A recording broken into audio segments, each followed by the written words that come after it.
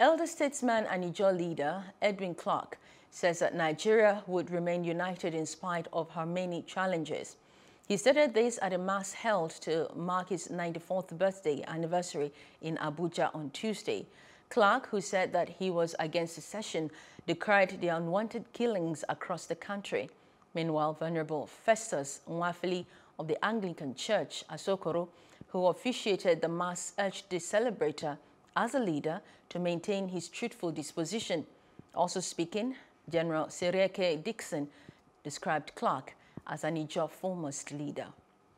Hello, hope you enjoyed the news. Please do subscribe to our YouTube channel and don't forget to hit the notification button so you get notified about fresh news updates.